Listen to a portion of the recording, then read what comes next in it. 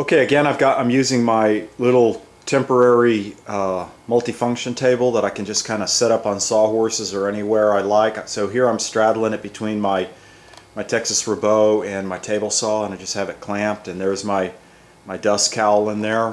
So I've got my depth set just right uh, so I know exactly where I'm cutting for the uh, you know for the panel size that's going to come in here. I want this to sit about um, you know a millimeter a millimeter off this you know inset and then I'll just rabbet just one face and it'll just kind of disappear into the into the panel.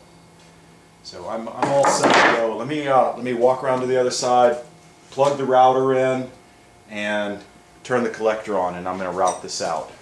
So again, this is just dry fit. This is what I always like to do. This just keeps me from making a mistake. So this is just dry fit with my dominoes, and so I'll just route this, and uh, then I can just bust it apart and you know complete my complete my radius cuts with the chisel. And of course I got this blocked up so this, uh, so this big snout on the bottom isn't going to have anything to interfere with. And I just went ahead and set some of my utility blocks around here to just kind of catch the dust and just keep things from blowing quite so much.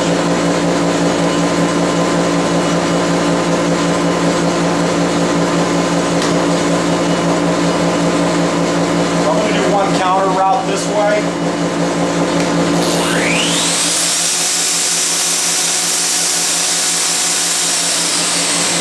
Get some clear safety glasses. Those are